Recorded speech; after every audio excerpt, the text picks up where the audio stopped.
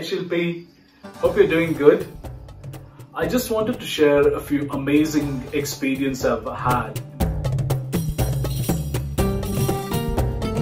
You know, I received a couple of very positive feedback from my coaches and coachees during the coaching sessions I've had. Interestingly, this is not to do with my coaching competencies, abilities, or skills. This is to do with my voice. The way how I'm able to bring an impact on my coaches.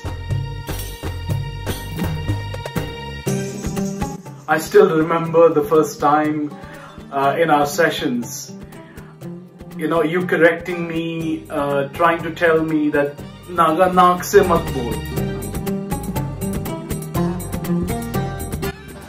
there was a lot of nasal influence and it took a lot of unlearning and relearning of course to be able to change that nasal influence and apart from that you know my whole delivery skills have immensely improved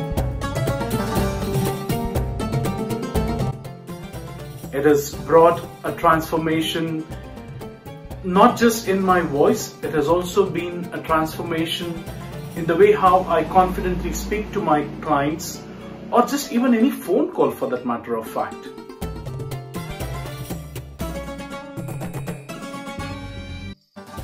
My pronunciations, intonations, pauses, and how I end my sentences, everything has changed.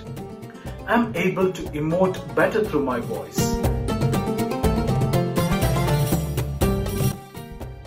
I feel it is my whole identity that has changed. I'm more confident, relaxed, I'm enjoying my voice nowadays. I truly believe that anyone who is looking to go through this journey of transforming their voice or becoming an impactful leader or bringing an impact through their voice or even public speaking has to go through this journey and none better than you to coach them.